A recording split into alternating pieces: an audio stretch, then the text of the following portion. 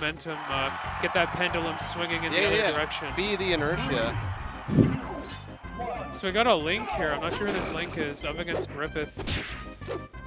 Now he's definitely a bold link to opt for a dash attack at almost zero. Definitely a bold Link to opt for, for Link. Definitely a bold, bold link to be playing Link. Yeah, yeah.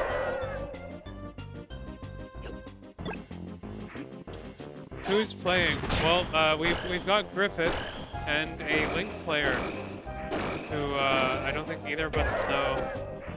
We don't really have a, a guy for that. We don't have like a, a these are the names of the players guy, unfortunately. Yeah, definitely Griffith versus someone. Oh, But this is a pretty lopsided looking game so far. Griffith definitely, you know, like a known player.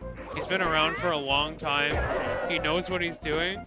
He knows how to pilot Captain Falcon and maneuver him around the stage and also press the A button, which is really as much as you need. a Uh, key part of Falcon's gameplay is the A button. yeah, absolutely. Sometimes B, every now and then. Yeah, it's rare. It comes up.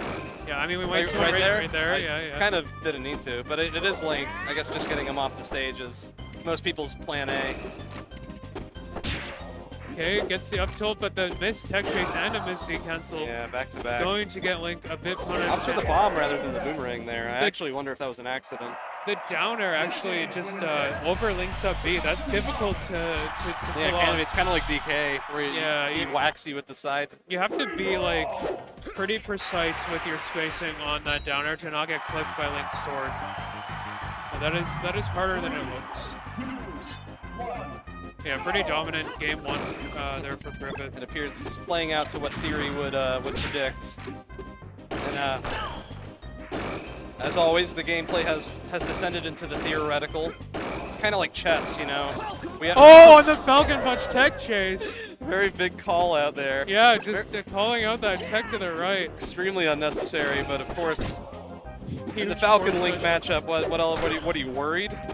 What are you not gonna go for that?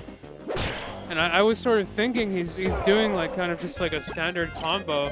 But then all of a sudden, out of nowhere, he just lets the Falcon Punch rip. Mm, And he decided that's enough style for one game.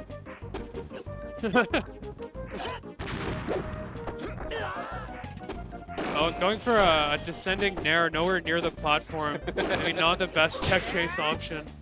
And yeah, Link that- landing lag there. Yeah, you, you hit Falcon, Falcon techs in place, and he's still ready. This guy going for the falling forward air stage spike attempt. Not gonna work out, but and again, getting that down Once air. again, uh, if, if the link is recovering in a, in a predictable way, it's a lot easier to position yourself to get yeah, that. especially if they're straight down, like they're riding up the stage. I mean, you really just aim it down. Stand over them and aim down and press Yeah, A. quick 2-0 for It looks like we got Falcon pressing some A, some B, moving the stick, jumping. very tough for uh, for Link to uh, accommodate all of that while uh, all those uh, buttons. while still executing his own game plan and perhaps emerging victorious in the match. Perhaps. Perhaps.